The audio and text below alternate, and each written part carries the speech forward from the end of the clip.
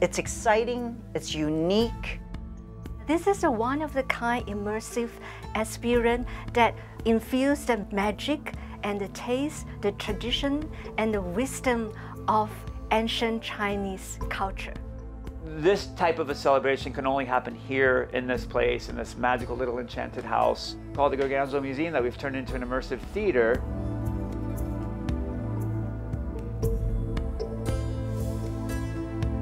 I love doing these sort of hybrid, cultural, uniquely San Francisco experiences that are very contemporary and very relevant to, to now. It's something that's going to be deeper than come see a show, have some food.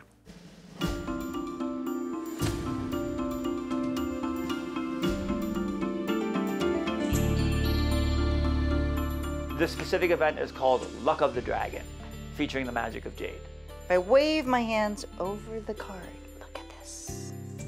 As it passes through the tunnel, Oh. it turns inside out. They experience the moment of the unknown, which is what I'm presenting. And let's see if we can make this card slowly. I know you can do it. You can do this.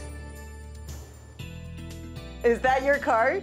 Yes. People are not aware that there is magic all around them, but more so that there is magic in them.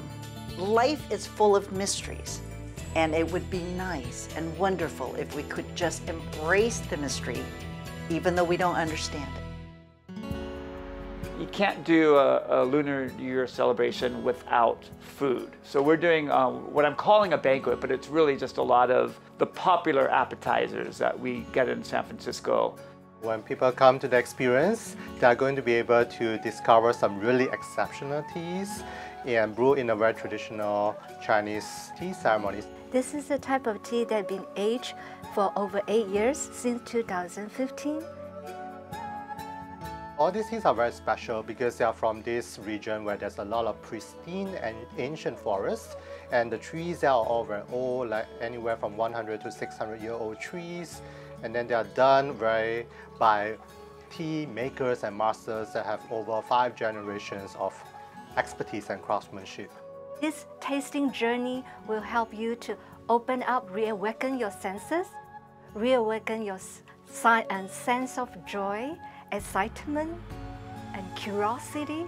This is a good way to help people to like center in a way that allows them to tune into the different experiences inside on a much deeper level. And the tea help you to kind of refresh, rejuvenate, and conjure out your new dreams for the new year of the dragon.